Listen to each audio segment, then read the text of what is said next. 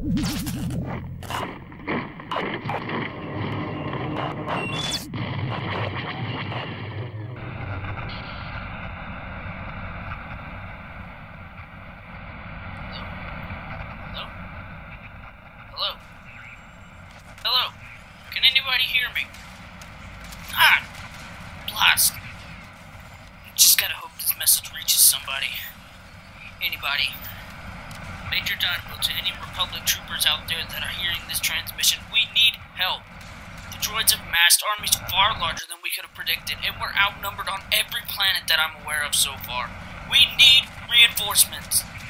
The 327 Star Corps is holding the line, but we need more troops.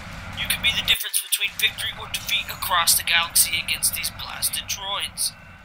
This will not be the end of our beloved Corps. You're already on your way, then strap on your armor and get ready to blast some droids ASAP.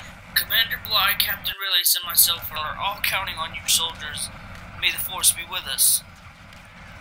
We're gonna need it. They've broken the lines! Move, men! Come and get it, you clankers!